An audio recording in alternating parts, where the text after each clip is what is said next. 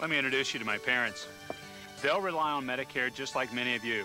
So I'm going to do everything possible to guarantee that Medicare is there when Kansans like my parents need it. Medicare will go broke if we fail to act. Even President Clinton agrees. The plan I support increases funding for Medicare by 40%, a 40% increase. We can't play politics with Medicare. It's too important to all of us.